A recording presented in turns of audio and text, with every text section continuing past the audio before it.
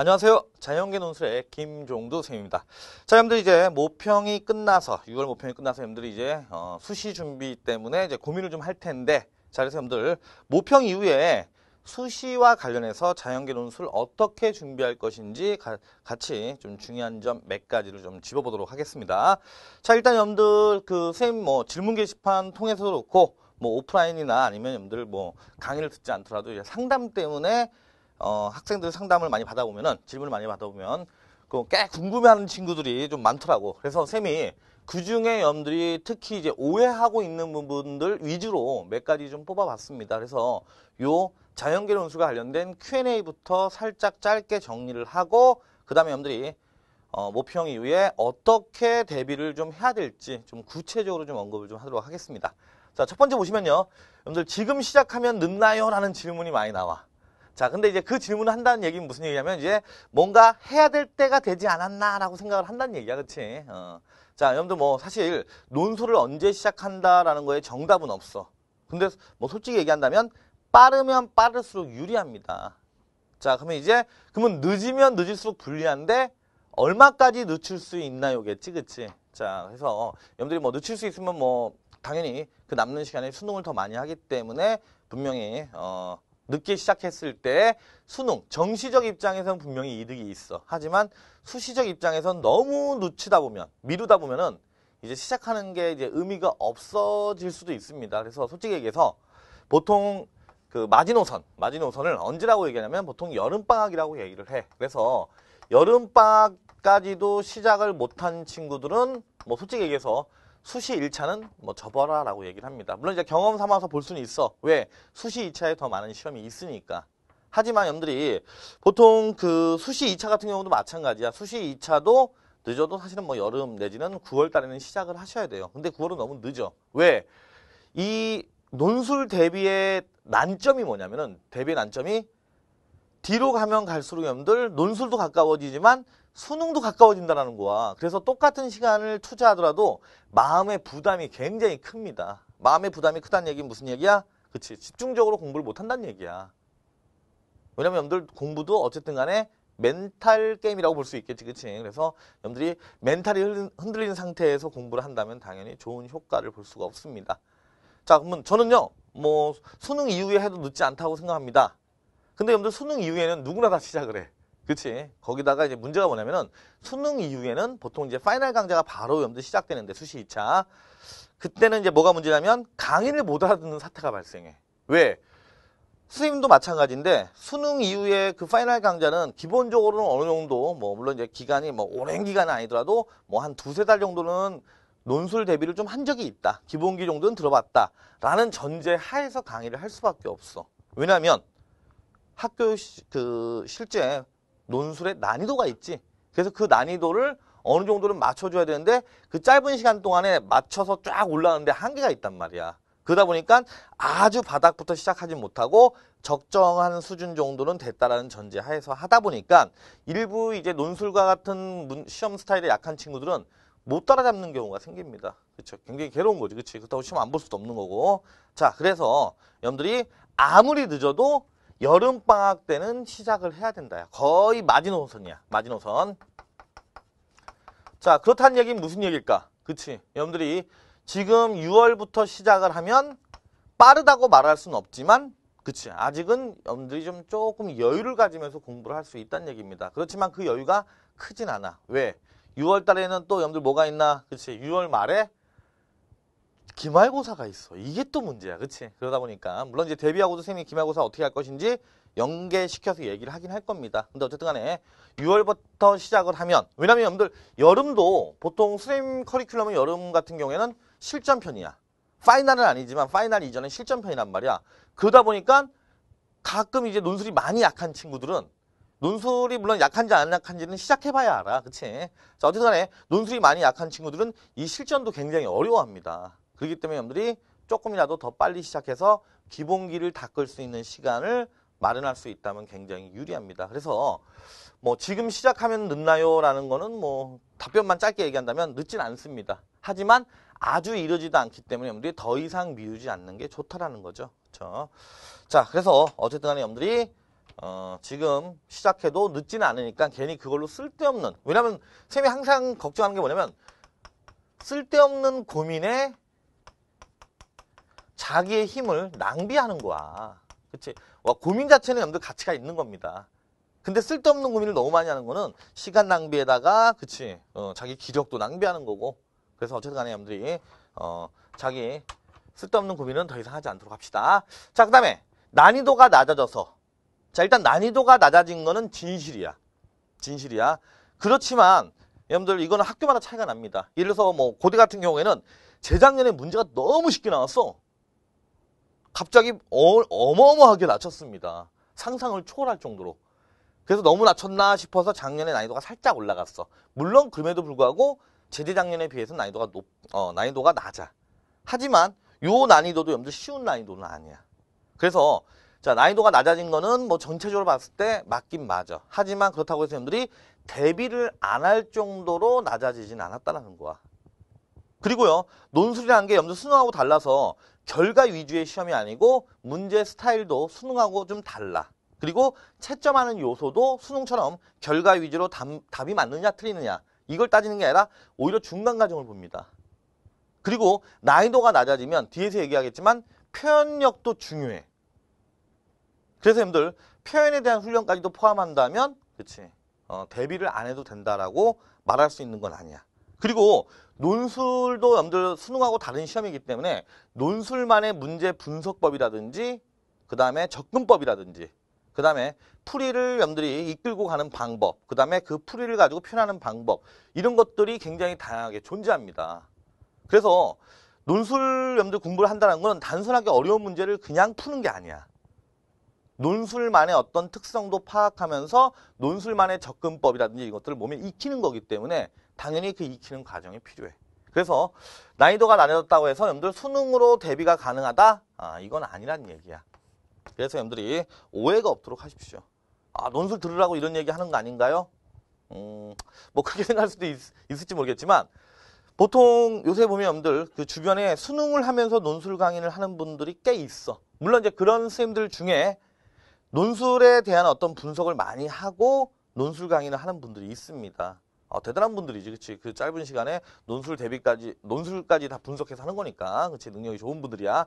자, 그런데 많은 그 수능 관련된 선생님들이 논술 문제만 보고 그냥 어 나도 풀 수 있으니까 가르칠 수 있겠네 해서 가르치는 경우가 많아. 그렇게 되면 여러분들한테 뭐만 가르쳐 주냐면 그냥 문제 푸는 것만 가르쳐 준다고. 그러면 이제 그 사람들은 잘 풀어. 여러분들이 봤을 때 그치? 근데 내가 비슷한 문제를 풀 만한 자신은 안 생겨. 그럼 여러분들 그건 다- 당연히 잘못된 그 강의를 듣는 겁니다. 솔직히 얘기하면. 자, 그런데 그런 분들이 이제 이런 얘기를 많이 한다고. 수능 위주로 하면서 내 강의 조금 추가해서 들으면 논술 문제를 풀 수 있어 라고 얘기를 하는데 실제로 여러분들이 그런 친구들 중에 많은 친구들이 나중에 이제 보통 이제 재수하면서 수한테 오는 경우가 많아. 이건 실제로 있는 일이니까. 그래서 강의를 듣고 나서 하는 말, 이건 선생님 자랑하려고 얘기하는 게 아니라 비교를 해주는 거야. 하는 말이, 아, 예전에 선생님 똑같은 문제의 풀이를 들었는데 선생님하고 전혀 강의가 달라요. 풀이가 다르다가 아니야. 강의가 다르다야. 지금 무슨 얘기냐면 그때는 논술 문제가 뭔지 모르고 그냥 풀라니까 풀고 풀이가 이렇다니까 그냥 이렇게 받아들였습니다. 근데 지금 와서 보니까 그게 아니네요, 야. 굉장히 여러분들이 그거 되게 중요한 겁니다. 논술의 논술 시험이라는 거의 특징을 모르고 그렇지 특성을 모르고 시험을 본다는 건 굉장히 위험한 거지, 그렇지? 자기가 뭘 하는지도 모르고 그냥 하는 겁니다.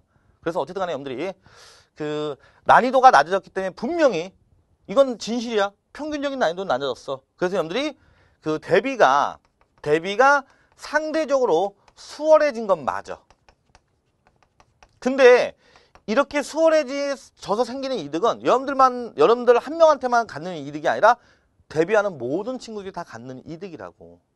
그렇다면 그 친구보다 앞서 가야 되고요. 그 앞서가는 것 중에는 뭐 단순하게 여러분들이 뭐 문제 푸는 양을 늘리거나 아 물론 그것도 중요하긴 해. 그렇지만 그걸 넘어서서 여러분들이 논술만의 어떤 특성, 분석법이라든지 그 다음에 여러분들 뭐 논술 문제의 접근법, 그 다음에 풀이 과정이라든지 표현법 이런 거 다 포함해서 얘기를 하는 겁니다. 이런 대비는 어쩔 수 없이 기본적으로 시간이 필요하다는 얘기야. 그래서 단순하게 수능으로만 대비 가능하지는 않습니다. 여러분들이 대신 수능 공부를 열심히 해서 논술하고 시너지 효과를 낸다? 아, 그건 가능해.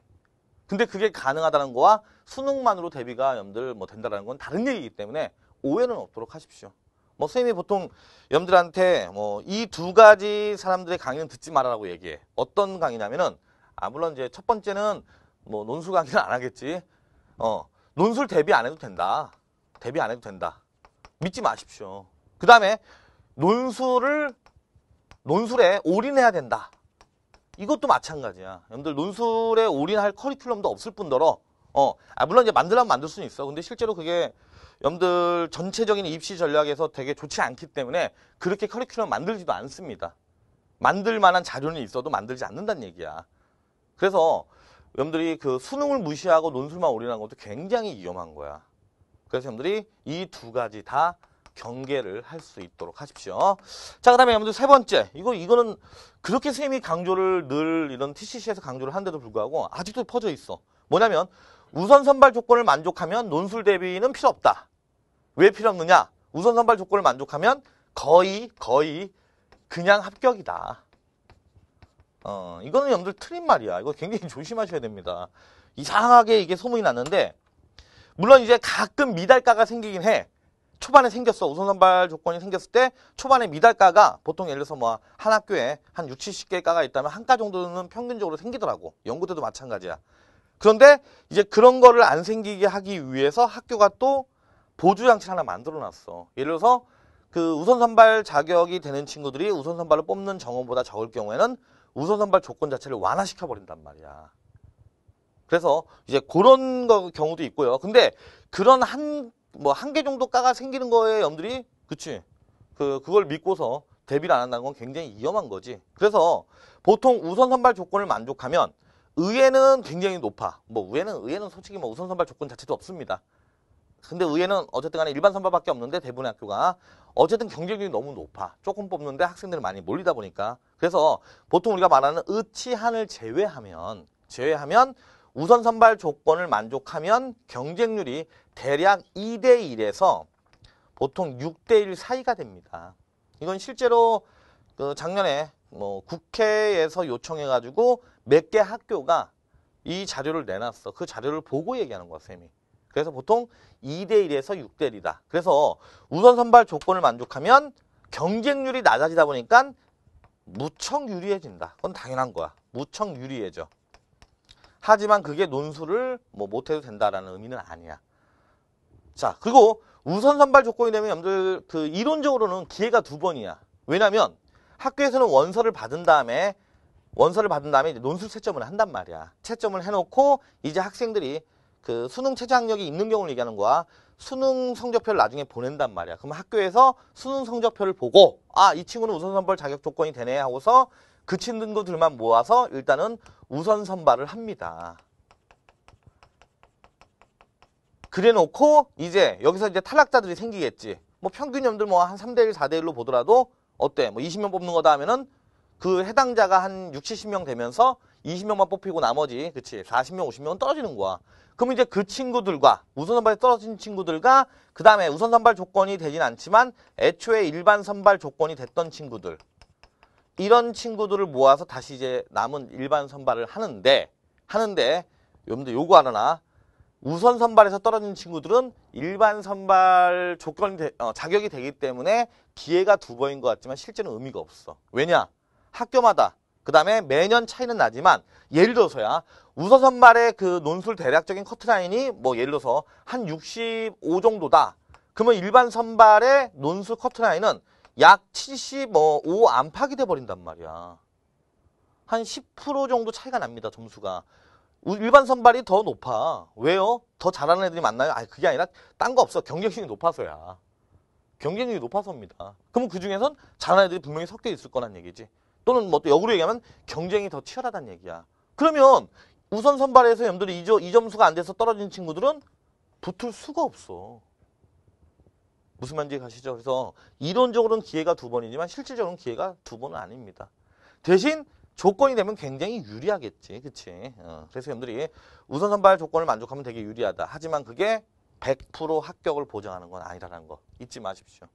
이건 여러분들 뭐 자료로도 학교에서 발표하기 전 자료로도 미리 예상이 됐던 거야. 왜냐면 우수선발 자격 조건이 되는 학생들의 수가 벌써 정해져 있잖아. 그치? 과목별로 몇 퍼센트 이렇게 정해져 있기 때문에 그런 통계 자료가 나와 있기 때문에 예상됐던 거고 실제로 작년에 몇 개 학교가 발표함으로 해서 뭐 발표하고 싶어서 발표한 건 아니지만 함으로 해서 실제로 확인이 된 겁니다. 그래서 여러분들이 잊지 마시고요. 자, 그 다음에 그 우선 선발 및 최저 등급이 완화되어서 통과가 쉽다. 아니지. 아니야. 이거는 실제로 여러분들 작년하고 대동소이하다라고 보는 게 맞습니다. 물론 이제 그 뭐 학교나 과에 따라서 약간 차이는 날 수는 있어. 근데 전체적으로 봤을 땐 대동소이해. 왜냐면 여러분들 학교가 바보가 아니란 말이야. 그러면은 우선 선발이나 최저 등급을 완화시킨 이유는 딴 거 없어. 과목이 여러분들 A, B, A, B, A, B 이렇게 쪼개짐으로 해서 예를 들어서 여러분들 영어 같은 경우는 대부분 높은 학교는 인문계인지 자연계인지 구분 없이 거의 B입니다. B란 말이야. 그런데 중요한 건 뭐냐면 일부 낮은 대학을 쓰려는 학교에는 영어 A가 인정이 되는 학교가 꽤 있단 말이야. 그러니까 그 친구들이 일부라도 빠져나갔어. 일부라도 빠져나갔어. 그러면은 이 B를 보는 학생들의 수가 영어 전체로 놓고 봤을 때는 줄게 되겠지. 왜? 작년까지는 영어 전체에서 등급을 매겼단 말이야. 근데 A가 좀이라도 빠져나가면 그 안에서 4% 드는 거는 더 어려워지는 거야. 1등급 되는 건 더 어려워지는 거야. 지금 무슨 얘기냐면 나는 전체 등수로 따지면 영어 등수 따지면 똑같은 등수를 유지하고 있는데 등급은 퍼센트는 알아서 떨어지는 거지. 무슨 말인지 가시죠. 그 다음에 그 뭐 국어도 마찬가지입니다. 좀이라도 빠져나가면 불리한 거야. 그나마 비슷할 거라고 보는 게 그나마 수학입니다. 왜냐하면 수학은 그 전에도 여러분들 뭐 지금 B에 해당되는 가형과 지금 A에 해, 어, 해당되는 나형이 있었기 때문이야. 그나마 그나마야. 그 다음에 여러분들 과학도 마찬가지야. 과학 여러분들 세 과목에서 뭐 등급을 잘 받은 등급 두 개를 골라내는 거와 두 개를 봐서 두 개를 잘 보는 거는 물론 대비할 때 시험 부담은 줄어. 그렇지만 그 시험 부담은 나만 주는 게 아니야. 똑같아. 그렇잖아. 그렇기 때문에 어쨌든 확률적으로 그냥 편하게 놀아더라도 세 개 중에 잘한 거 두 개를 뽑아냈을 때의 등급과 두 개 가지고 여러분들이 두 개를 봐서 두 개 가지고 등급 내는 건 달라. 그래서 원래 등급 맞기가 어려워졌기 때문에 학교에서 우선 선발 및 최저 등급을 완화시킨 게 실제로 완화는 아니란 얘기야. 그래서 이건 여러분들이 어, 완화됐다고 생각하지 않는 게 좋습니다. 아 물론 이제 수치상으로는 완화된 것처럼 보이지, 그렇지? 그렇지만 여러분들이 그런 숫자 노름에 속아 넘어가면 안 돼. 자 그리고요. 아까 쌤이 여기서 얘기했을 때 뭐 우선 선발, 뭐 일반 선발 얘기를 했었잖아. 자, 근데 여러분들 일반 선발 또는 요걸 뭐 우선 선발이 됐든 일반 선발이 됐든 어쨌든 여기에 최저 등급이 있단 말이야. 이 최저 등급을 만족하지 못하는 학생들 물론 원서를 먼저 냈을 때 얘기하는 거야. 원서를 내놓고 왜냐면 여러분들이 그 가능성이 없는데 원서를 내지는 않는다고 그 원서 B가 있는데 그렇지 원서비의 일부를 논술 시험 못 보면 어, 돌려받는다 하더라도 어쨌든 간에 일부 돌려받는 거잖아 그렇지 그 다음에 여러분들이 수시의 기회는 여섯 번밖에 없습니다. 원서를 이렇게 남발할 수 있는 상황이 아니라고. 돈도 그렇고 기회에 대한 어떤 비용도 그렇고 그렇다면 여러분들이 어느 정도 가능성이 있으니까 보통 이제 원서를 낸단 말이야. 그런데 최저 등급을 만족 못해서 결국 논술 시험 보는 게 의미가 없어져 버리는 학생의 수의 비율이 학교마다 차이는 나지만 40에서 한 60% 사이라고 보시면 됩니다. 물론 이제 학교마다 차이는 있어. 예를 들어서 뭐 작년 서울 시립대 같은 경우에는 뭐 등록금이라든지 이런 여러 가지 일들이 있어서 학생들이 굉장히 많이 몰렸어. 그냥 100대 1이었어. 평균 경쟁률이 100대 1이었습니다. 그런데 최저 학력을 만족 못한 친구들이 쌤 기억으로는 대략 70%였어. 어, 이건 이제 쌤 평균적으로 얘기하는 거야. 그 다음에 한양대 같은 경우에도 여러분들 꽤 높은 대학이잖아. 그치? 한양대도 쌤 기억으로는 거의 40 몇 프로였습니다. 그러니까 여러분들이 뭐 그 원서 낸 거 가지고 경쟁률이 어 40대 1이래. 뭐 50대 1이래. 그 거의 반으로 깎여버리는 거야. 그치? 어. 근데 어, 깎이니까 경쟁률이 낮아지네요가 어, 물론 그것도 중요해. 그렇지만 여러분들한테 더 중요한 건 뭐냐면 이게 완화됐다고 수능을 수능을 그치 어 뭐 무시하는 경우는 없겠지만 어쨌든 상대적으로 무시하게 돼버리면은 그치 본인이 여기 일반 선발에 통과를 못하는 최저 등급을 통과 못하는 그런 상황이 발생할 수가 있다는 얘기입니다. 그럼 어떻게 되는 거야? 그치? 자기는 수능이 상대적으로 약해서 논술 대비를 했었던 건데 그치, 논술과는 상관없는 사람이 되어버리는 거야. 이율배반적이지, 그치? 어. 수능이 상대적으로 약해서 왜 수능이 엄청 잘 나와. 뭐 나는 실수해도 뭐 수능이 뭐 한 세네 개밖에 안 틀려. 이런 사람들은 정시 봐야 돼. 그게 맞아. 괜히 논술에다가 헛힘을 쓸 이유가 없습니다.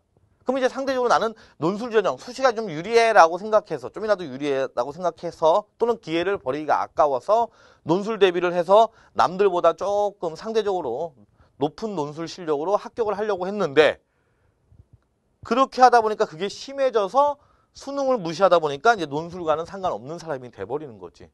어, 선생님 최저학력이 없는 학교도 있잖아요. 근데 여러분들 그 학교에 보통 우리가 학교에 뭐 사실 솔직히 학교 서열이 있으니까 그치 뭐 없다라고 얘기는 해야 되지만 있잖아 다 알잖아 그치? 그렇다면 여러분들 대부분 이런 식이라고. 보통 우리가 가장 높이 있는 대학은 우선 선발도 있고 최저 등급도 있어. 즉 일반 선발로 나눠서 한다는 얘기지. 근데 그보다 조금 낮은 대학은 우선 선발이 없고요. 그냥 최저 등급만 있습니다. 근데 그거보다 낮은 대학이 그치 최저 등급이 없는 거야 근데 여러분들이 보통 일반적으로 뭐 이런 대학을 목적으로 하는 사람은 상관없지만 이런 대학을 목적으로 했던 친구들 같은 경우는 되게 억울한 거지, 그치? 어. 그렇다고 해서 갑자기 방향을 이렇게 잡을 수는 없는 거니까. 그치? 그래서 여러분들이 어, 수능도 항상 그 자기가 논술 대비를 하더라도 수능의 중요성은 여전히 간과돼서는 안 됩니다. 자, 어쨌든 간에 여러분들이 좀 많이 궁금해하는 거 쌤이 좀 확실하게 좀 몇 가지 뽑아서 정리를 했으니까 잘못된 상식을 갖지 않도록 주의해 주시기 바랍니다. 자 그러면 뭐 사실 이 영상의 가장 큰 목적이지 그러면 여러분들 계획은 어떻게 짜야 하는가? 그래서 쌤이 그냥 계획 짜는 방법을 조금 수치적인 걸 도입해서 얘기를 할게. 얘기를 할게. 자 기준은요. 여러분들이 6월 모평을 보고 그 주 정도의 그주 정도의 요 영상을 보고 계획을 자기도 짜겠다라고 했을 때를 가정하겠습니다 자 그러면 여러분들이 확보 가능한 시간을 먼저 추정해야 돼. 당연한 거야. 그냥 무조건 이거 열심히 들어야지가 안 돼. 그럼 여러분들 앞으로 살아가면서 별로 좋은 계획, 그 좋은 그 전략을 세우는 사람이 아닌 게 돼버려.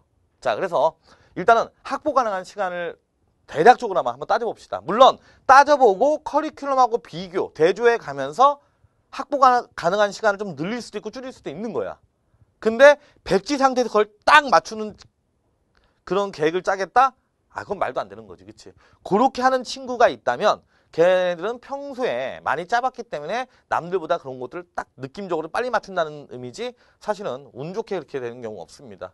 계획 짜는 것도 능력이야. 그래서 여러분들이 자꾸 이렇게 짜보려고 노력을 하셔야 됩니다. 자, 그러면은 일단은 여러분들이 확보 가능한 시간을 한번 리스트로 기간으로 한번 따져보자고. 그러면 이제 6월 달에는 대략적으로 3주 정도 있습니다. 그 다음에 여러분들 7월달하고 8월달이 각각이 4.5주 정도가 있어. 8월도 대략 4.5주입니다. 그 다음에 9월까지 씁시다. 9월까지. 왜냐면 수시 1차를 기준으로 삼을게.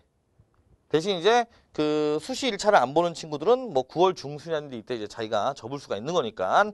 자, 어쨌든 간에 9월까지 가정을 하면 9월에는 4주가 있는데 이제 9월은 약간 스페셜하게 추석 기간이 있고 올해 추석 기간은요. 기간이 좀 길어. 양쪽으로 막 징검다리 비슷해가지고 거의 일주일에 육박해.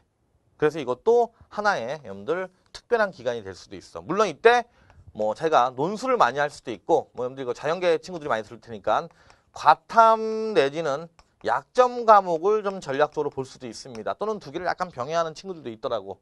그건 여러분들이 뭐 판단할 문제인데 어쨌든 자기가 추석 기간에 논술을 많이 하기로 했다면 이것도 계획이 늘 수 있다는 얘기야. 그래서 그런 것들 을 한번 가늠해 보자는 얘기지.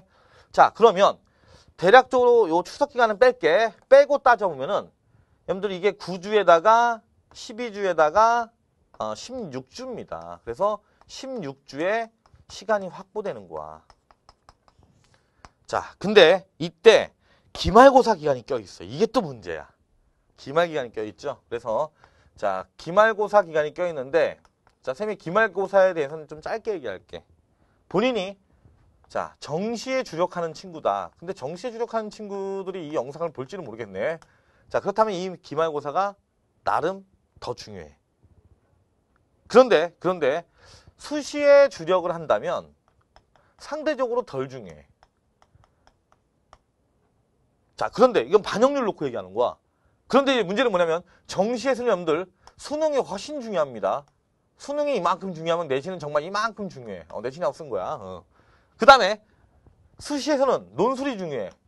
그 다음에 퍼센트 상으로는 어쨌든 간에 정시의 어떤 내신보다는 조금 더 중요해. 그렇지만 논술하고 비교하면 거의 뭐 5분의 1도 안 돼. 중요도가. 5분의 1도 안 됩니다. 그래서 이렇게 여러분들 뭐 중요도와 뭐 덜 중요한 걸 이렇게 따져보면은 결국 정시나 수시나 내신의 역할은 비슷하다는 얘기야. 자, 근데 어쨌든 간에 자기가 의치한을 쓰지 않는 한은 내신은요 4나 5등급 이내에 들면 큰 의미는 없습니다. 큰 의미는 없어 사실은. 의치한은 워낙 논술 그 커트가 높게 올라가다 보니까 뒤집기가 내신 뒤집기가 힘들어져. 그러다 보니까 내신도 꽤 높아야 돼. 하지만 그, 그 외의 과들은 커트라인이 보통 60에서 좀 쉽게 나와도 80 사이에 형성되기 때문에 일반적으로 그 논술에서 소위 말하는 이제 뒤집기가 가능해진단 말이야. 물론 일부러 여러분들이 내신을 망칠 필요는 없지만 요 등급 안에만 든다면 차라리 지나간 내신을 신경 쓰는 것보다는 그치 논술 공부를 더 열심히 하는 게 맞습니다. 그렇다면 여러분들 이 내신은 버릴 수는 없는 거지만 예를 들어서 개인적으로 자기 혼자 자체 이제 내신 기간에 들어가는 친구도 있어.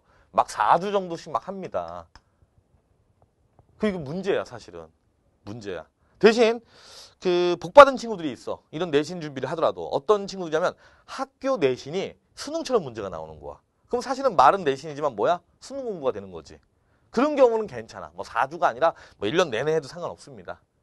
자, 근데 학교 내신이 그냥 그 과목 선생님 성격대로 나오는 수능하고 전혀 상관없이 성격대로 나오는 학교가 있어. 이런 학교에서 여러분들이 4주씩 공부를 한다? 아, 이거는 논술 때문이 아니라 수능을 말아먹는 방법이지, 그치? 그래서 여러분들이 내신은 정말 효율적으로 포기하라고 얘기하진 않아. 선생님이 또 종도 선생님이 포기하라고 했어요. 이러면 또 안 되니까. 일부러 망칠 필요는 없지만, 그치?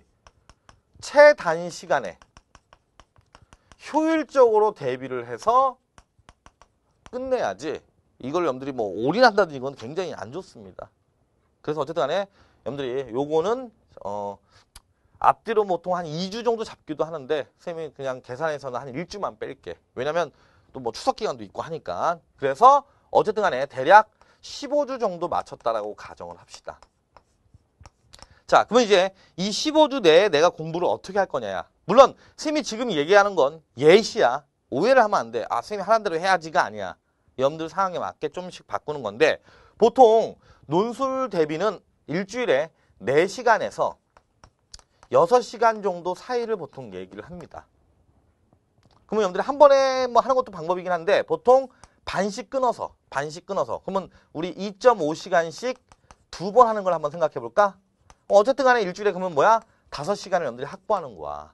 그러면 이게 얼마가 되냐면 75시간이 됩니다. 근데 이 75시간 가지고 여러분들이 다 강의만 들을 건 아니지. 그치? 그렇다면 이제 일부는 예습 복습도 해야 될 거야. 근데 보통 논술의 예복습은 답안 작성 훈련을 하지 않는 한, 첨삭 같은 걸 하지 않는 한은 일반적으로 일주일에 1시간 정도만 얘기를 해. 어, 예복습은. 그럼 여러분들이 여기서 1시간을 뺀다고 치면 4니까 60시간이 되겠지. 그래서 75시간 확보하고 강의 수강에 물론 이제 예복습이 좀 늘 수도 있어. 근데 강의 시간은 그냥 쌤이 60시간 정도로 설정을 할게. 그러면 여러분들이 실제 강의는 실제 강의는요. 60시간 이상이라고 봐야 돼. 왜 그럴까? 1배속으로 듣는 친구 본 적이 없어 인강을. 그치? 1배속으로 듣지 않습니다. 일반적으로. 뭐 보통 빠른 친구들은 1.6, 어 그렇지 않은 친구들은 뭐 1.4 이렇게 많이 들으니까. 그래서 여러분들이 최소한 60시간 이상 이렇게 되는 거지. 그치? 자, 근데 그러면 여러분들이 이거 가지고 이제 커리큘럼을 이제 비교해 보는 거야. 커리큘럼을 비교하는 겁니다. 자, 그러면은 예를 들어서 그 뭐 여기 선생님 강의가 뭐 있다라는 거 홍보하러 나온 건 아니니까 선생님 강의 중에 이제 핵심적인 강의 두 개를 가지고 얘기를 해볼게. 그래서 그냥 이름 말하지 않고 그냥 A 강의와 B 강의라고 얘기를 하겠습니다. 강자와 비강자. 그리고 수리논술만 먼저 얘기를 할게. 수리논술만 얘기를 할게. 왜냐면 강운술 하지 말란 얘기인가요? 그래서 수리논술과 과학논술의 조화는 좀 이따 쌤이 또 따로 얘기를 하겠습니다. 대신 과학논술까지도 하는 친구들은 조금 변화를 줘야 돼. 어쩔 수 없는 거야. 왜냐면 쌤이 이 짧은 시간에 모든 걸 다 얘기할 수는 없는 거니까. 자, 그러면은 A 강좌 같은 경우에 여러분들 80분씩 80분씩 선생님 기억으로는 이게 8주였을 거야.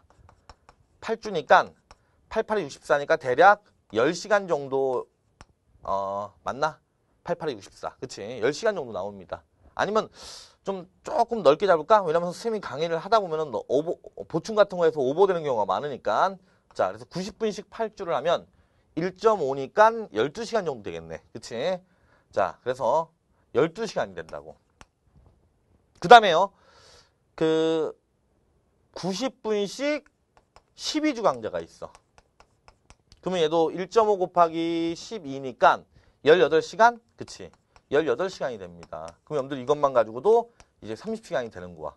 그런데 이제 이거 말고 이건 여러분들 실전 강좌야. 실전 강좌.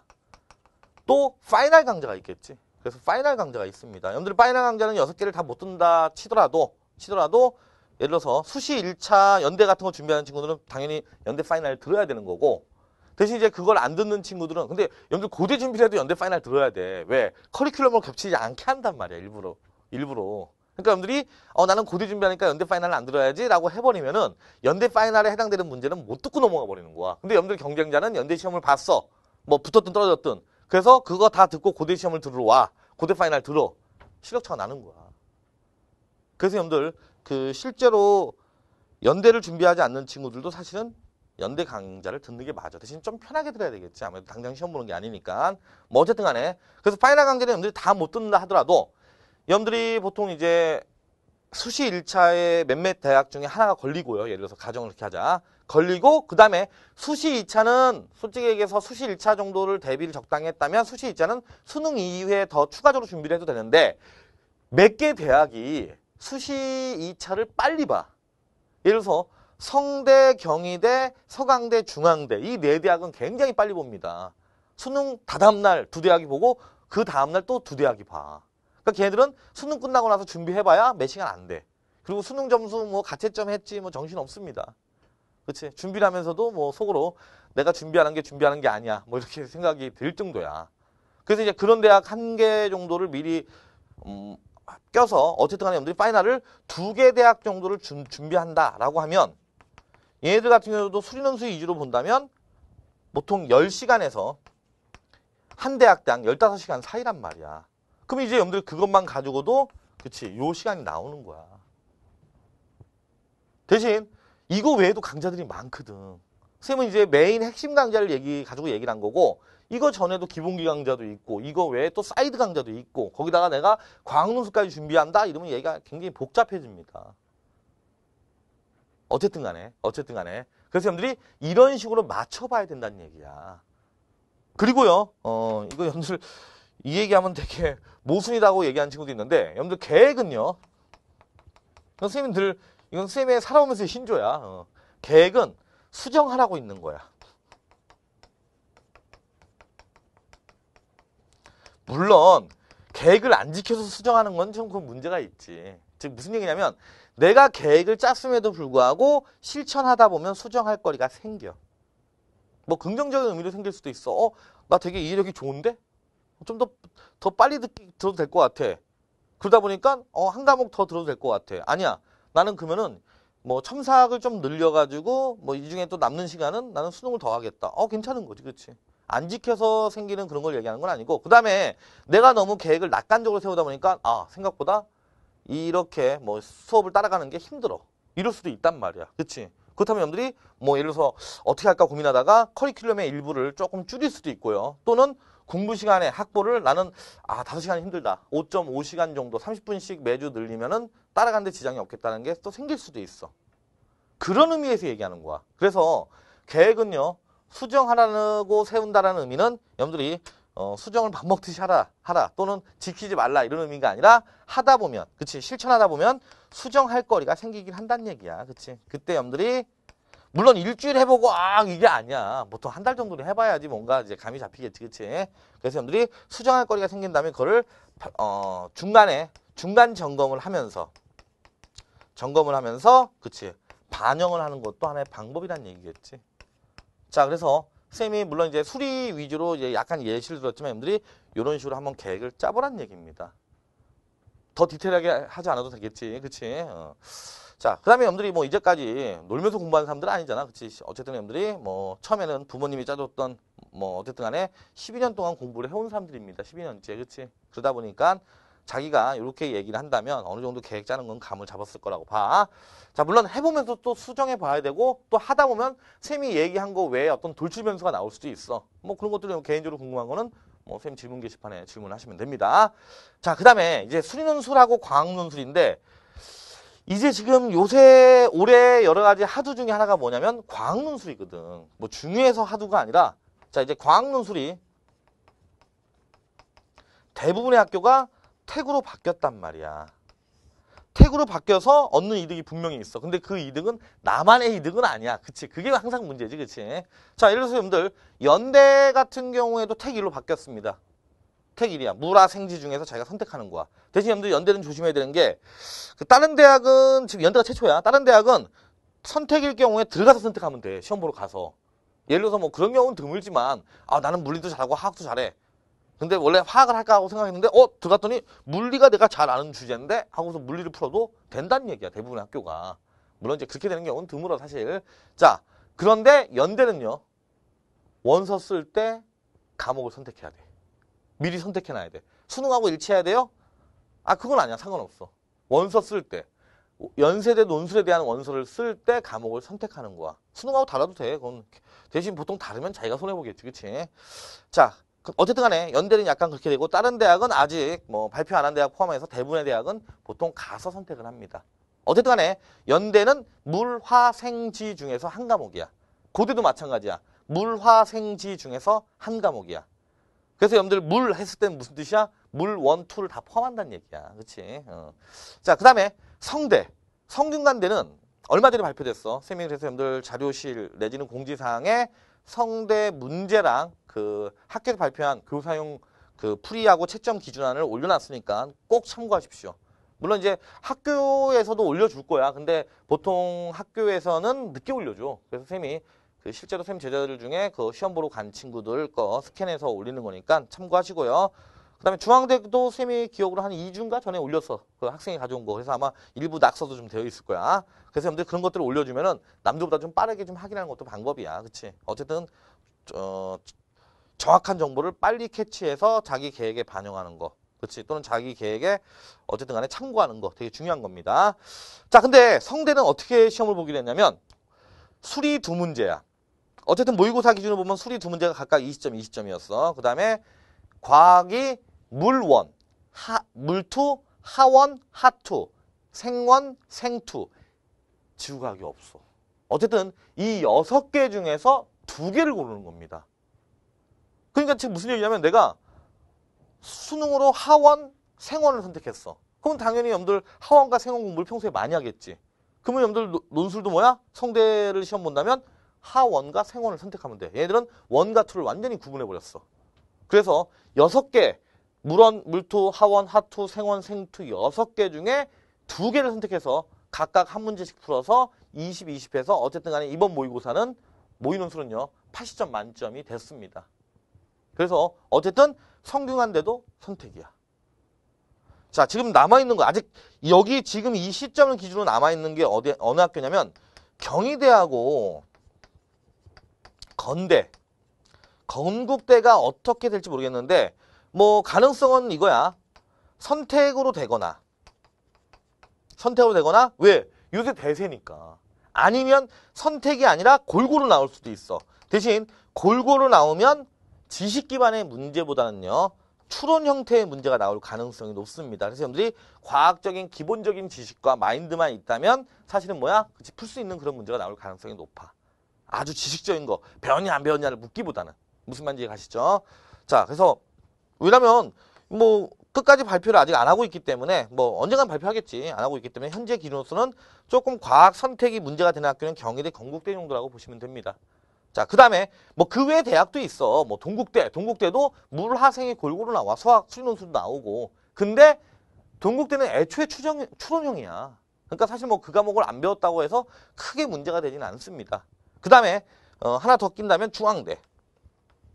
중앙대도 여러분들 쌤이 올려놓은 모의논술 꼭 확인하십시오. 꼭 확인하십시오. 그래서 중앙대는 수과 통합이야. 그래서 과학 문제도 일부 나오긴 하지만 보통 대부분의 문제가 과학 문제 나오면 추론형이고요. 대부분의 문제가 이번에는 모의논술 이렇게 냈어. 제시문도 잘 섞어놨어. 예를 들어서 어, 쌤 기억에 의하면 뭐 가제 시문은 예를 들어서 뭐 화학이었어. 그럼 낮에 시문은 뭐 생물이야. 그 다음에 다제 시문은 물리야. 그 다음에 라제 시문은 수학이야. 뭐 이런 식으로. 그래놓고 걔네들을 대문항 다섯 개로 골고루 물어봅니다. 골고루 물어보는데 대신 과, 과학이 과학 이번에도 과학 질문이 있었어. 근데 과학 질문은 거의 추론형이었고요. 그 다음에 과학적인 내용을 분석해서 수학적으로 아, 과학적인 내용을 해석해서 수학적으로 분석하는 그런 수가통합 문제를 많이 냈습니다. 그래서 여러분들 중앙대를 준비하는 친구들은 약간 준비를 좀 특이하게 해야 돼. 딴 대학보다. 딴 대학은 어쨌든 수리논술과 과학논술을 거의 철저하게 분리하다시피 하고 있거든. 자, 그리고 쌤이 이렇게 언급했던 대학 외에 대부분의 대학은 다 수리논술만 본다고 보시면 됩니다. 예를 들어서 여러분들 뭐, 그, 뭐 서울대는 심층 면접이니까 좀 예외로 하고요. 여러분들 뭐 한양대, 서강대, 뭐 서울시립대 이런 대학들은 대부분 다 수리논술만 본다라고 생각하시면 됩니다. 뭐 이하여대도 마찬가지고. 자, 그래서 어쨌든 간에 뭐 나만의 어떤 그 부담이 준 건 아니지만 많은 학생들이 과학논술에 대한 부담은 어쨌든 줄었다는 얘기야. 그치? 그래서 여러분들이 학부 가능할 수 있는 시간과 이런 것들을 대조하면서 이때 과학 논술을 어떻게 할 건지 이제 고민을 해야 돼. 자, 고민하는데요. 자, 쌤이 팁 하나 알려줄게. 이건 대신 예시야. 예시야. 괜히 이거 가지고 어 뭐 쌤이 이렇게 했다고 해서 여러분들이 뭐 그대로 실천하는 의미는 아닙니다. 예시를 들어줄게. 만약에 만약에 내가 보는 대학이 뭐 이런 추론형 같은 게 아직 또는 결정되지 않은 대학이 껴있지 않고 예를 들어서 뭐 나는 뭐 연대, 고대, 성대를 볼 거야. 근데 이제 성대는 이제 지구과학 선택자가 조금 불리하긴 하죠. 그래서 나는 뭐 어차피 나는 뭐 화학을 했다. 뭐 예를 들어서 뭐, 뭐 학교 내신에서 화원, 뭐 생원, 화투를 했다. 예를 들어서야. 그래서 나는 실제 수능 볼 때는 생원과 하투를 한다. 아, 예시를 드는 거야. 또 오해하지 말고. 생원과 생, 어, 생명과학 원과 화투를 한다. 근데 하원도 배우긴 배웠거든. 그래서 나는 논술을 화학을 하겠다. 연고대는 화학을 하겠다. 그 다음에 그 성대 같은 경우에는 세 과목을 놓고 들어가서 고르겠다. 아, 어쨌든 그것도 전략이잖아. 그러면 일단 그 친구는 뭐야? 과학 논술의 핵심은 화학이 되는 거지. 그 친구는. 무슨 말인지 가시죠. 그렇다면 아무래도 뭐 화학 과목을 화학에 대한 과학 논술을 화학에 대한 과학 논술 강의를 들을 수도 있어. 근데 여러분들 뭐 찾아보면 알겠지만 길지 않아. 어, 길지 않습니다. 어, 짧아. 짧기 때문에 예를 들어서 나는 6월 달부터 듣지 않고 방학 때 뭐 여러분들 방학이라고 하지만 보통 우리가 그 7, 8월 달 7주 정도를 그냥 방학이라고 해. 실제 방학은 여러분들 3주밖에 안 되지만 그냥 방학 시즌이라고 얘기를 하니까 그냥 그렇게 얘기할게. 그래서 나는 7, 8월 달 7주 정도의 요거를 뭐 추가적으로 하겠다. 예를 들어서 20강짜리야. 7주야. 그럼 일주일에 3시간 정도 추가 더 듣겠다 이거지. 방학 때 방학이 껴 낀 주니까. 뭐 그런 것도 하나의 방법입니다. 왜냐면 과학 논술은 지속적으로 들을 수도 있지만 지속적으로 듣더라도 수학하고 1대1로 들을 수는 없어. 왜냐면 커리가 이렇게 준비되어 있는 커리가 내가 알기로는 메칸 내에서도 없어. 그리고 실제 오프라인도 그렇게 합니다. 수학 3시간 수업하면 과학은 2시간 정도밖에 안 한다고 사실은. 자, 그래서 여러분들이 뭐 꼭 그 강의를 들으라는 의미는 아니야. 그래서 어쨌든 간에 이렇게 방학 시즌을 기준으로 들어볼 수도 있고 아니면 나는 아 나는 그래도 7주 동안 3시간씩 듣는 건 너무 많이 부담돼. 그래서 나는 그 9월 달까지 껴서 3달 동안 3달이면 한 9주 나오잖아. 그치? 그때 뭐뭐 9주 한 10주 정도 나오는데 10주 동안에 20강짜리를 듣겠다면 한 2시간 정도 되겠지. 그치? 그래서 뭐 수업 위주로만 듣는 방법도 있고요. 자, 또는 이런 친구들도 있어. 더 짧은 거. 또는 수학 과학이 포함된 그런 논술 강좌를 들은 친구들도 분명히 있을 거야. 그러면 그런 친구들은 자기가 이제 논술 경험을 과학 논술에 대한 경험을 좀 했잖아. 대신 이제 그거를 따로 수업을 듣는 건 부담되더라. 할 때 쓰는 방법이 있어. 왜냐면 어쨌든 여러분들 수리 논술보다 과학 논술은 시너지를 내기가 더 쉬워. 더구나 학교가 선택으로 내겠다는 얘기는 무슨 얘기야? 당신들의 선택을 존중하겠다는 얘기야. 여러분들의 그 수능 선택을. 그러면 그 수능 선택을 존중한다는 얘기는 뭐야? 여러분들이 수능에서 열심히 한 걸 바탕으로 문제를 내겠다는 얘기거든. 그러면 이제 여러분들이 과학 논술을 경험했으면 아무래도 그치? 과학 논술이 어떻게 출제되는지는 감은 잡히게 되는 거야. 공부하는 것도 감은 잡히게 된다고. 전혀 안 들은 것보다는 몇 강이라도 들어본 적이 있다면. 그래서 여러분들 그 광수 관련된 강의를 1강만 쫙 듣는 거. 물론 그 1강이 실제적인 내용일 때 얘기하는 거야. 뭐 이 강좌에서 뭘 다룹니다. 이런 1강 말고. 그치? 그런 강좌를 딱 들어서 이렇게 어, 광론술이 어떻게 흘러가는지 좀 감을 잡는 것도 좋아. 자기가 정 강의를 들을 시간이 안 된다면 그렇게 한 다음에 그- 그렇게 한 다음에 여러분들이 감을 잡았다면 감을 잡았다면 그 다음에는 경험을 늘리는 거야. 근데 이 경험을 늘리는 방법이 강의를 통해서도 가능하지만요. 자료를 통해서도 가능합니다.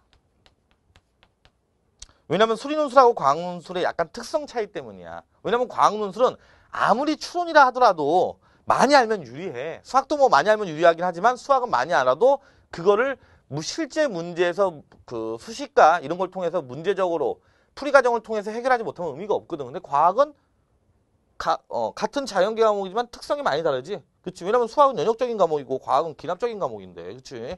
자, 그래서 여러분들이 이런 자료를 활용해서 과학 논술에 문제 경험을 늘리는 것도 굉장히 좋아. 이러면 여러분들이 이거, 이거 가지고 수능하고에 왜? 예전에는 수능에서 선택하지 않은 과학 논술을 많이 봤지만 이제는 안 그렇거든. 내가 선택할 과목을 가지고 볼 수가 있기 때문이야. 그래서 여러분들이 수능과의 시너지를 또 크게 낼 수가 있어. 선생님 이거 적극적으로 활용하면 여러분들 굉장히 효율적으로 공부할 수 있지 않을까 이렇게 생각을 해. 지금 무슨 얘기냐면 이런 식으로 하는 거야.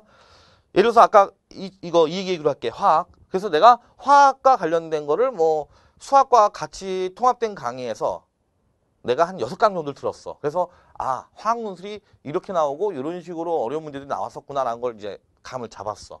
근데 여러분들이 더구나 완전히 모르는 화학은 아닐 거라고. 교과 과정 내지는 교과 과정보다 조금 플러스 알파 되는 거란 말이야. 그러면 여러분들이 이제 뭐가 궁금하냐면 그러면 내가 교과 과정에서 배우는 이 화학, 더구나 선택이니까 계속 공부할 거란 말이야. 그게 어떻게 나오는지가 궁금하다고. 그렇다면 다른 대학들, 자기가 지원하는 대학뿐만이 아니야. 왜냐면 주제는 돌고 돌아야 돼. 질문 방식만 다를 뿐이지 학교마다 질문 방식만 다르지 교수님들 머릿속은 다 비슷하단 말이야. 그래서 주제적, 소재적 입장에서 봤을 때 여러분들이 얘네들이 논술 문제를 어떻게 나왔는지 경험하는 거 굉장히 중요합니다. 그것만 가지고도 여러분들이 논술 실력이 계속 늘 수가 있다는 얘기야. 그래서 예를 들어서 선생님 자료실에 가보면 공개 자료실에 가보면 물론 올해도 새로 올리겠지만 올해 새로 올리는 건 아마 여름 이후가 될 거야. 학교에서 아직 자료가 발표 안 됐기 때문에 그래서 작년 작년치 논술 자료집 퍼레이드라고 있어. 퍼레이드라고 있습니다. 그래서 여러분들 뭐 넘버 1 인하대, 뭐 넘버 2 뭐 이렇게 해서 아마 쌤 기억으로 한 7개 대학 정도를 올려놨단 말이야. 그리고 거기는 학교가 발표한 자료이기 때문에 될 수 있으면 될 수 연고대는 약간 예외야. 연고대는 그 답안 발표를 잘 안 하니까. 근데 여러분들 예를 들어서 뭐 경희대라든지 이런 학교들은 기출에다가 모의논술에다가 자기네들이 어, 예시 답안, 그 다음에 채점 기준 이런 것까지 다 실려 있습니다. 더구나 여러분들 수리하고 틀리게 과학은 눈으로도 공부가 되는 과목이란 말이야. 그래서 이런 자료들이 실제로 프린트하지 말고 왜냐면 두꺼워 생각보다 여러분들이 딱 이렇게 다운을 받으면 쌤 자료실에 있다고 했으니까 다운을 받아보면 쌤이 여러분들 보기 편하게 몇 년치를 딱 모아놓은 거야 자연계 부분만 모아놓은 거란 말이야 그러면 여러분들이 거기서 화학만 캐치해서 보면 되는 거지 왜? 자기는 화학 논술에 대해서만 대비하면 되는 거니까 그러면 아 제시문에 이런 주제가 나오고 아 내가 수능에서 배웠던 이런 주제가 논술에서 이렇게 나올 수 있구나. 그리고 이렇게 나왔을 때 학교에서 이런 답변을 원하는 거였구나. 아 물론 이제 뭐 문제 보고 바로 답 보는 것보다 조금 고민한 다음에 답을 봐도 되겠지. 이건 염두 막말로 위해서 필요한 부분만 복사 프린트한다면 학교 자율학습 시간인지 이때 간간히 짧게 짧게 염들이 활용할 수도 있는 겁니다. 그래서 이런 게 쌓인다면 선생님 봤을 때는 어설프게 강의를 뭐, 아, 물론 강의는 듣긴 들어야 돼. 왜냐면 논술에 대한 접근법 이런 것들이 있으니까. 근데 어설프게 뭐 과학논술 강의 뭐 30강, 40강, 50강 듣는 것보다 오히려 이게 시간은 적게 들면서 강의하고 적절하게 여러분들이 혼용해서 사용을 한다면 오히려 시너지 효과는 더 크다고 봐. 왜냐면 여러분들 변별은 분명히 수리논술에서 나는 게 맞아. 하지만 과학논술에서 발목을 잡으면 수학을 잘 봐도 의미가 없어. 왜? 배점이 보통 요새 뭐 수리논술만 보는 학교는 예외로 하고요. 수리하고 과학의 배점의 비율이 6대 4에서 5대 5입니다. 성대는 5대 5야. 연대는 6대 4야. 고대는 발표 안 했어. 경희대도 거의 여러분들 5대 5에서 6대 4가 될 것 같아. 무슨 말인지 가시죠? 그래서 어쨌든 간에 수리가 조금 비슷하거나 높은데 수리가 어렵기 때문에 점수차가 많이 나. 근데 내가 그래서 수학을 잘 봤는데 과학을 남들보다 훨씬 못 봤다. 그럼 의미가 없는 거야. 발목을 잡힌 거지, 그치? 그래서 여러분들이 그런 식으로 경험을 늘린다면 분명히 과학 논술은 강의 플러스 알파로, 그치? 시간도 더 효율적으로 대비를 할 수 있다는 얘기입니다. 이런 자료 굉장히 많아. 그리고 쌤이 예를 들어서, 예를 들어서야 한양대 자료집은 한양대는 여러분들 몇 년 동안 지금 수리 논술만 봤어. 근데 한양대는 예전에 과학 논술 문제를 되게 잘 냈던 학교야. 그래서 쌤이 논술 자료집에 과학 논술까지 예전에 봤던 과학 논술까지 껴 넣었습니다. 그러니까 한양대는 수리 논술만 보는 대학이니까 나하고는 상관없어가 아니야. 한양대를 지원하지 않더라도 마찬가지야. 그거는 아까 얘기했잖아. 교수님들 머릿속은 대학이 틀려도 똑같아. 그 주제가 돌고 돌아. 수학보다 더 심해. 과학은. 이 학교에서 나왔던 게 그 다음에 다른 학교에서 나오기도 합니다. 유사하게. 여러분들이 그런 식으로 활용한다면 그치. 그래서 수련술은 봤을 때는 선생님 봤을 때는 일단은 강의 의존할 수밖에 없어. 여러분들이 뭐 문제 어디 있어. 그치. 그 다음에 자료를 보더라도 잘 이해가 안 갑니다. 근데 과학논술은 강의 양을 늘리는 것보다는 강의 플러스 선생님이 금방 얘기했던 논술 경험. 논술 자료집을 이용해서 경험을 늘리는 식으로 그치 시간을 좀 세이브 해가면서 그 다음에 여러분들 컴퓨터 앞에 앉아서 컴퓨터를 킨 다음에 보는 거랑 내가 자료로 가지고 있으면서 필요할 때 싹싹싹싹싹 그치 부스러기 시간을 이용해서 보는 거는 활용 측면에서도 차이가 납니다. 그래서 여러분들이 과학 논술은 예전보다 좀 더 효율적으로 준비할 수 있는 방법들이 생겼다는 거야. 그래서 여러분들이 그런 것도 좀 참고를 하시라는 얘기야. 그렇다면 여러분들이 혹시 논술을 강의로 끼더라도 어때? 그치 쌤이 금방 얘기했던 틀에서 아주 크게 차이가 날 것 같지는 않지 그치? 그래서 쌤이 처음에 과학 논술을 빼고 얘기를 한 겁니다. 중요하지 않다는 의미는 아니야. 자, 그 다음에 마지막으로 강조하고 싶은 거. 핵심은 실천이야. 아, 이렇게 하면 되는구나. 어, 알았어. 그 다음에 그 다음날 까먹었어. 그 다음에 또 이제 평소에 공부하던 식으로 그냥 앉아서 그냥 수능 공부만 해. 왜?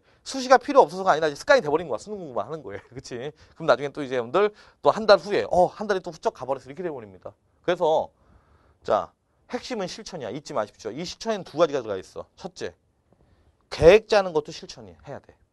그 다음에 계획을 짰으면 나중에 중간에 수정을 할지언정 해봐야 됩니다. 잊지 마십시오. 어. 여러분들이 좋은 정보를 얻었다 하더라도 그렇지. 그게 자기의 어떤 학습에 영향을 줄 수 없다면 의미가 없다는 얘기야. 자, 그 다음에 여러분들 어, 세 번째로 좀 추가적인 얘기를 할게. 실제로 여러분들이 이제 공부를 하다 보면 지금은 와닿지 않을 수도 있는데 공부를 하다 보면 이제 답안 작성에 대해서 여러 가지 고민들이 생깁니다. 여러분들 답안 작성은 일단 봐봐. 아까 선생님이 초반에도 얘기했지만 난이도가 하락을 했어. 난이도가 하락을 하면은 일단은 못 풀면 안 돼. 옛날에는 일부 문제가 어려울 때는 일부 못 풀더라도 합격을 한단 말이야. 연대 같은 경우에는 어 재작년이었지. 재작년에 수학을 절반을 간신히 풀어도 합격을 했단 말이야. 근데 뭐 그 해 같은 해에 같은 해에 고대는 문제를 틀리면 안 됐어. 틀리면 굉장히 위험했어. 난이도에 따라서 이렇게 변할 수 있다는 얘기야. 자, 그래서 난이도가 하락하면 일단 맞추는 건 당연히 기본으로 가야 돼. 그런데 그럼 이제 변별이 맞추는 건 가지고 변별이 안 되는 거야. 오히려 못 맞추면 떨어지는 거지. 그런데 난이도가 어쨌든 간에 떨어지다 보면은 맞추는 건 기본이 되고 거기에다가 표현 능력의 중요성이 증가가 됩니다. 이거 아주 좋은 샘플이 뭐냐면 이번에 발표된 놈들 성대 모의논술이야. 성균관대 모의논술. 성대를 보지 않더라도 상관없어. 문제 난이도가 되게 쉽기 때문에 혹시 성대보다 낮은 대학을 보는 친구들도 내가 봤을 땐 굉장히 참고할 만한 문제야. 대신 선생님이 수리논술만 놓고 얘기할게. 자, 학교에서 수리논술 문제를 대문항 두 개를 냈습니다. 1번, 2번 내고 이 1번은 소문항이 1, 2, 3, 4였어. 그 다음에 2번은요. 1, 2번이었습니다. 둘 다 점수는 2점, 2점이야. 그래놓고 학교가 예시 답안을 딱 써놓고요. 채점 기준을 써놨어. 채점 기준을 잘 봐봐 얘들아. 표현 능력. 이 표현 능력은 글을 잘 깨끗하게 서술하는 거, 흐름이 있게 서술하는 거, 그런 논리적인 흐름도 얘기하고요. 그 다음에 완성된 문장으로 쓰고 있는지 하는 외형적인 것도 포함하고요. 그 다음에 제시문의 어떤 근거를 활용해 가면서 쓰고 있는지 근거의 제시 방법에 대한 거다 포함된 거야. 그게 아주 적나라하게 드러난, 드러난 자료입니다. 그래서 문제는 굉장히 쉬운데 실제로 시험을 보고 채점을 하면 학생들 점수가 은근히 낮게 나와. 내가 봤을 때는 와 이거 1번짜리 예를 들어서 뭐 2번 같은 경우는 쌤이 푸는데 염두도 풀어보면 마찬가지야. 답을 내는데 2분밖에 안 걸렸어. 120분짜리 대문항 4개짜리 시험이면은 대문항 하나를 3분, 30분에 풀어도 되는 문제인데, 시험인데, 답안 작성 포함해서. 2번은 쌤이 푸는데 2분밖에 안 걸렸어. 근데 여러분들도 내가 봤을 때 2, 3분밖에 안 걸릴 것 같아. 되게 쉬워. 그러니까 난이도는 실제 난이도는 더 높아질 거야. 높아질 거야. 근데 굉장히 기본적인 걸 물어봤습니다. 근데 그거보다 더 중요한 건 뭐냐면 학교가 채점을 어떻게 하고 있는지야. 그게 다 써 있거든, 거기에. 꼭 참고해 보십시오. 그래서 여러분들이, 어, 어쨌든 난이도가 떨어지면 표현 능력이 상대적으로 더 중요해진다는 거 잊지 마십시오. 표현 능력만 중요하다는 건 아니야. 푸는 건 당연히 중요한 거고 거기다 플러스 알파로 표현 능력까지 좋으면 합격할 가능성이 높아진다는 얘기입니다. 자, 그러기 위해서는 여러분들이 이제 여러 가지 온라인이나 오프라인에서 첨삭을 할 수 있어야 돼. 자, 오프라인은 아, 이 오프라인이 참 애매해. 왜냐면 보통 오프라인 수업을 들으면 인강을 안 들을 확률이 높기 때문에 여러분들 요 영상을 보는 친구들은 오프라인 수업을 안 들을 가능성이 높습니다. 자, 근데 보니까 그 학교에서 학교에서 한시적으로 한시적으로 그 특강 비슷하게 또는 지역에서 한시적으로 특강 비슷하게 하는 경우가 있어. 그러면 실제로 그 온라인 선생님 강의를 듣는 친구들 중에 몇 명이 물어보더라고. 예를 들어서 뭐 그 친구는 아마 군산 지역이었던 것 같아. 근데 그, 그 군산시에서 뭐 10회짜리 특강을 하나 만들었대. 선생님 이거 들어야 될까요? 낭비 같은데 어떻게 할까요? 근데 선생님이 이랬어. 한번 알아봐라. 알아봐라. 그래서 강사진이 너무 나쁘지 않고 그 다음에 첨삭을 만약에 해준다면 첨삭을 잘하냐 못하냐 그것도 중요하겠지만 일단 첨삭을 해준다는 것 자체는 되게 중요한 거거든. 첨삭을 해준다면 한번 들어봐라. 그리고 그 인강을 들었을 때는 항상 혼자 앉아서 듣잖아. 물론 이제 학교 자습 시간에 듣기도 하지만 혼자 앉아서 듣는데 남들하고 같이 이렇게 어울려서 한번 듣는 그 분위기도 느껴보는 것도 나쁘진 않습니다. 그래서 이제 그런 것들이 있으면 그게 한시적일 경우에는 시간이 많이 뺏기지 않는 전자의 쌤들이 어, 참여해보는 것도 나쁘진 않다는 얘기야. 그래서 어쨌든 간에 여러분들이 오프라인 강의 뭐 강의는 많이 안, 안 듣더라도 첨삭을 할 수 있는 기회가 있으면 활용하는 게 맞습니다. 그리고 정말 그게 안 되는 친구들은 방법이 없어. 온라인이라도 그치 최소 3회에서 6회 정도는 경험을 해봐야 돼. 여러분들 생각하고 문제를 푼 거랑 그걸 또 표현하는 건 달라. 그래서 여러분들 뭐 온라인으로 그러면 첨삭을 경험하는 방법은 어떤 방법이 있나요? 어, 여러분들 메가스터디 메가스터디 모의 논술이 있습니다. 그래서 전문 첨삭진들이 있단 말이야 메가스터디 네. 그래서 그 전문 첨삭진들이 해주는 거고 또 과목도 여러분들 뭐 학교 군을 나눠서 골고루 해주니까 이것도 한번 봐봐. 물론 뭐 솔직히 문제 퀄러티가 꼭 그 학교에 맞다라고 말할 수는 없어 이렇게 뭉탱이로 하다 보니까 그렇지 그렇지만 여러분들 중요한 건 뭐냐면 어쨌든 첨삭받는 경험은 되게 중요한 거야. 아 물론 선생님도 그 온라인 첨삭이 있긴 해. 근데 선생님은 선생님이 직접 하는 거기 때문에 솔직히 얘기하면 한시적으로밖에 판매를 안 합니다. 그래서 아마 판매 자체는 6월 말 정도면 선생님 거는 아마 판매를 그 아마 중지를 할 거야. 왜? 6월 말에 까지 뭐 판매를 한다고 하지만 실제로 6월에 산 친구들도 실제 첨삭은 7월 달말 이렇게 간단 말이야. 왜? 그 강좌에 대해서 첨삭 기간이 있어. 뭐, 한 며칠, 몇십일이라고 듣는데 나도 몇십일인지는 못 외우고 있는데 어쨌든 그게 있단 말이야. 뭐 한 3, 40일이 되는 것 같아. 내 기억으로는. 그래서 그 안에 첨삭을 받기 때문에 선생님 같은 경우는 이제 7월 달까지 첨삭을 해야 돼. 8월 초까지 했던 걸로 기억나. 어. 근데 그게 여러분들 생각보다 많이 몰려. 근데 선생님 같은 경우는 첨삭 계획이 천천히 하거든. 원래 성격이. 하나 첨삭하는데 30분 넘게 걸립니다. 천천히 한단 말이야. 또 읽어보고 뭐 이런 식으로 선생님, 선생님 성격이야. 그래서 어쨌든 간에 그 뭐 그걸 활용할 사람은 또 활용하는 것도 방법입니다. 근데 선생님 거는 한시적이다 보니까 여러분들이 평상시에도 할 수 있는 거는 메가스터디 모의 논 술이 있다는 거. 이것도 한번 활용을 하라는 얘기야. 물론 문제 퀄러티도 중요하고 다 중요하겠지만 첨삭의 퀄러티도 중요하겠지만 첨삭을 받는다는 그거 자체 경험 자체 굉장히 중요한 거야. 잊지 마십시오. 그 다음에 그 다음에 이렇게 직접 여러분들 첨삭 받지 않지만 답안 작성의 훈련을요 간접적으로 하는 방법이 있어. 요게 바로 세 번째야. 자 어떤 식으로 할 수 있냐면요. 첫째 학교의 예시 답안. 그 다음에요. 선생님이 모든 문제는 아니지만 선생님이 타 학생의 어, 아 이거, 이거 먼저 하자. 선생님이 예시 답안. 여러분들 학교의 예시 답안은 좀 이런 건 있어. 솔직히 학교의 예시 답안은 터프합니다. 그렇지만 학교에서는 미니멈 그 정도의 답변을 또는 답안 요소는 갖춰주길 바라는 거니까 꼭 참고를 하는 게 좋아. 어쨌든 간에 학교의 출제도를 가장 잘 반영한 게 학교의 예시 답안이니까. 그 다음에 선생님이 예시 답안들도 문제 중에 일부는 되어 있습니다. 근데 선생님이 예시 답안은 애들아 답이 이거야 라는 의미에서 작성한 게 아니야. 그림도 나는 이렇게 그릴 것이고 외형도 이렇게 할 거야 라는 측면까지 다 고려된 거야. 그래서 여러분들이 내용만 보지 마시고요. 아 물론 내용도 보긴 봐야 되겠지. 외형이라든지 배치라든지 그 다음에 문장을 어떻게 쓰고 있는지라든지 이런 것들까지도 기왕이면 다 같이 봐주는 게 좋아. 왜냐면 여러분들 예시 답안 주면은 그냥 답만 봐. 아 그러려면 선생님이 뭐하러 그렇게 예시- 열심히 학생 답안처럼 쓰나? 그게 워드가 됐든 선생님 손글씨가 됐든 간에 그렇게 했을 때는 여러 가지 이유가 있는 거야. 어떻게 표현한지도 보라는 얘기야. 그걸 그대로 흉내내라는 얘기가 아니라 참고하시라는 얘기입니다. 그 다음에 타 학생의 예시 답안들 이것들도 마찬가지야. 이 중에는 여러분들 지금 대치동에서 일어나는 그 실제 그러니까 따끈따끈한 그치 학생들의 답안인 경우도 있고 또는 잘된거 같은 경우는 여러분들 선배들 답안인 경우도 있어. 예를 들어서 작년에 선, 여러분들 선배 중에 어떤 애가 이 문제에 대해서 답안을 되게 잘 작성했다. 뭐 이런 거일 수도 있습니다. 물론 그 중에는 보면은 첨삭 표시가 되어 있어. 그러니까 여러분들이 그걸 또 타산 지적 삼는 것도 괜찮아. 아 이렇게 표현했는데 여- 이런 지적을 받았구나. 왜? 그것도 여러분들 뭐야 간접 경험하는 거거든. 여러분들이 실제로 여러분들이 그 문제에서 그 실수를 안 했다 하더라도 다른 데서 그와 유사한 실수를 할 수 있는 거기 때문에 남이 어떻게 지적받는지 보는 것도 하나의 방법입니다. 그래서 이렇게 여러분들 다양한 예시 답안들을 활용하는 거야. 대신 요 두 가지는 이제 모범성이 강하다고. 그치? 이것도 굉장히 좋아. 근데 학교의 예시 답안은 여러분들이 터프하기 때문에 다시 한번 얘기합니다. 내용 위주하고 출제 의도 위주로 살펴보는 게 좋아.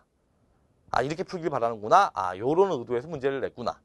그 다음에 선생님의 예시 답안하고 다른 학생들의 여러분들 뭐 선배나 동료 학생들의 예시 답안들 이걸 올려준 거는 여러분들이 내용뿐만 아니라 어떻게 표현하고 있는지 뭐 배열은 어떻게 하고 있는지 그림이나 수식은 어떻게 조화롭게 하고 있는지 그런 것까지 다 포함해서 그 다음에 지적받은 첨삭된 답안지 같은 경우들이 어떤 식으로 첨삭이 이루어졌고 아 이런 실수를 나도 할 수 있다는 여러분들이 타산지석 삼으면서 보면은 그렇지 그게 굉장히 간접적으로 좋은 경험이 될 거란 얘기야.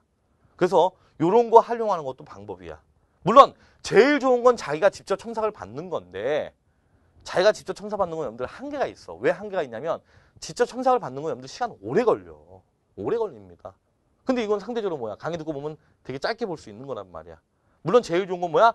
적당한 수준에서 조화롭게 하는 거지, 그치? 그래서 어쨌든 간에 여러분들이 혹시 요걸 하지 않더라도 이런 식으로 간접 경험을 할 수 있다는 얘기입니다. 꼭 참고를 하십시오. 자, 그래서 여러분들이 6월 모평 이후에 이제 논술을 하겠다라는 생각 또는 논술을 해야 되나 또는 늦지 않았나 여러 가지 고민하면서 어, 어쨌든 수시에 대한 고민을 할 겁니다. 그래서 여러분들 그 수시에 대한 고민 중에서 엑기스만 쌤이 모아서 좀 정리를 했습니다. 그래서 근데 이렇게 여러분들이 정확한 정보를 알고 있는 거 중요해. 근데 실천하지 않으면 무용지물입니다. 그래서 여러분들이 잘 생각을 해보고 고민하는 건 좋아. 근데 그 고민이 너무 오래 가는 건 안 좋아. 그래서 여러분들이 어쨌든 간에 자기가 잘 계획을 짜서 자기한테 맞게 좀 수정해서 실천할 수 있도록 해서 여러분들이 어쨌든 올해 입시 전반적인 전략에서 좀 어, 좋은 전략과 함께 좋은 성과 내기 바랍니다.